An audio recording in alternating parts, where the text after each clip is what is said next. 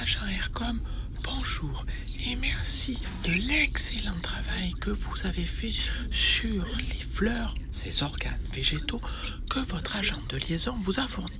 Maintenant, pour moi comme pour vous, les choses sont plus claires, je l'espère. Du coup, vous notez sur votre support d'apprentissage, sur une nouvelle feuille, puisque c'est un nouveau chapitre, les informations suivantes. Chapitre 03 Tous les êtres vivants ont besoin de matière pour se développer et se reproduire.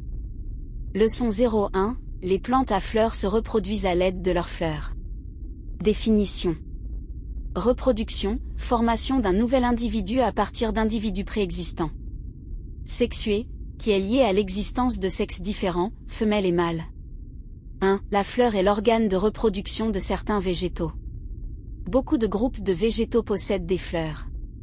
Elles ont une utilité et une organisation commune, c'est l'organe de reproduction de ces végétaux. Oui, vous avez vu que les fleurs sont les organes de reproduction des végétaux et qu'elles possèdent des organes distincts qui ont des fonctions bien différentes.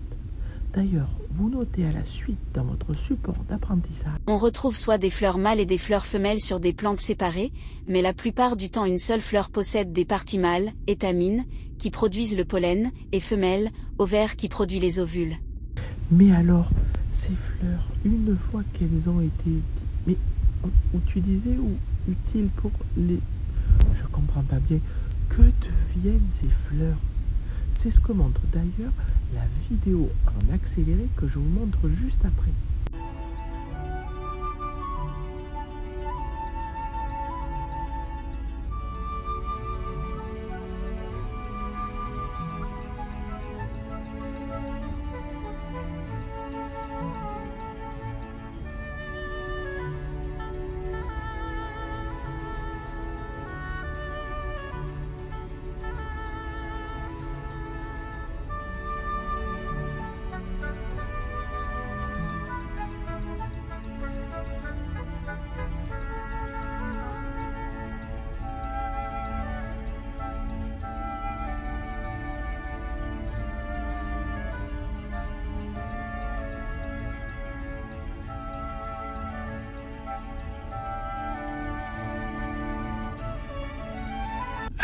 J'ai compris. Les fleurs se transforment donc en fruits. Donc c'est ce que vous allez noter puisque je vais le dicter dans votre cours. Comme ça, votre support d'apprentissage sera complet.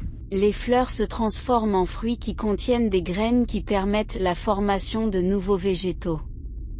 C'est une reproduction sexuée. Donc, je vous dis au revoir, merci pour votre travail et à bientôt pour l'étude du cycle de reproduction de ces végétaux parce que vraiment, ça m'intéresse.